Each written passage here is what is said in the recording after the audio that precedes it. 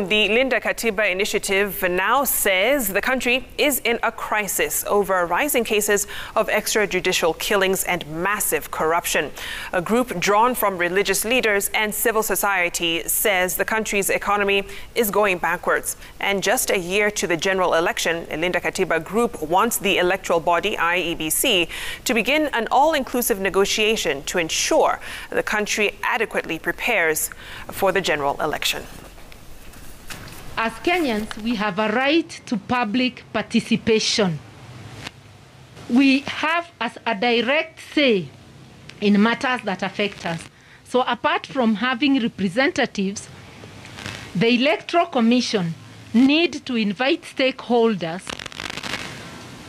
to have a chance to participate in planning and managing the next general elections. Corruption is going to destroy us because, and those of you who have been in the political arena, even when you don't want it, in some way, the electorate will make sure that you give man, them money that they don't deserve. We have about 1.5 million uh, openly unemployed young people. And then if you look at the underemployed, the ones who are, because the way we measure employment statistically is people who are doing something. But some of the things people are doing are not really employment.